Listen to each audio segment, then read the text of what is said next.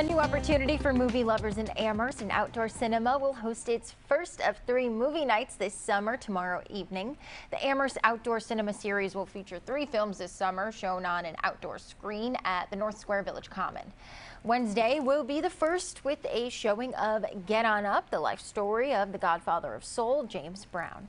Showtime is 9 and seating opens at 7.30. There are only 75 tickets available though and you can reserve one on the Amherst Area Chamber of Commerce's website.